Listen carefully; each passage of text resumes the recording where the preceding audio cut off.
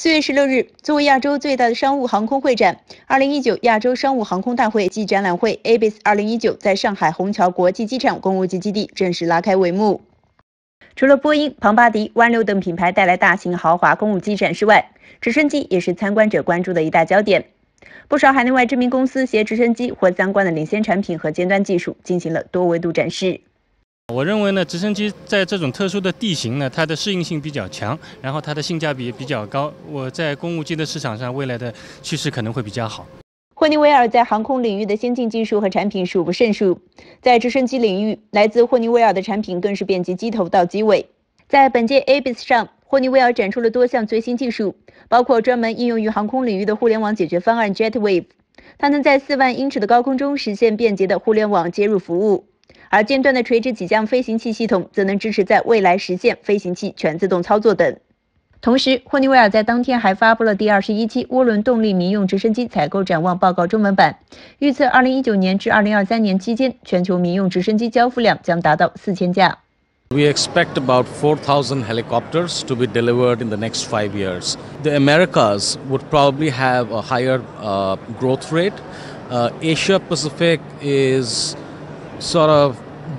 marginal or flat at about you know 5% down from last year but having said that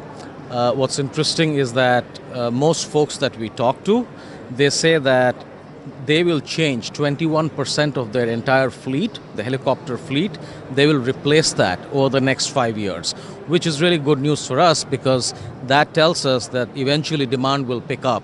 数据显示，按照直升机细分机型来看， 中型双引擎直升机市场表现最好，这其中就包括了在本届 ABS 上展出的由意大利莱奥纳多直升机生产的 AW139 飞机。它曾在首届中国国际进口博览会上有过展出，是当时进博会最贵展品 AW189 飞机的兄弟款机型。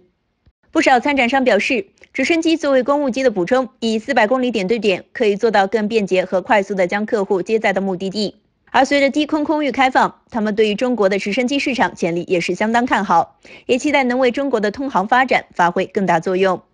直升机现在离老百姓越来越近，那我们说，比如说现在的低空的空中游览，因为直升机它其实上是一个平台，相当于一个平台，根据你不同的用途，那你可以加装不同的一些配配件，可以选装件。这个在全球的整个公共飞行实际上。